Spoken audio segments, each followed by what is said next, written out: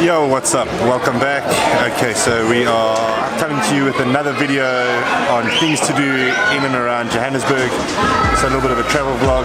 Uh, we are at a place called Bambanani. It's in Melville, well actually in Old Melville.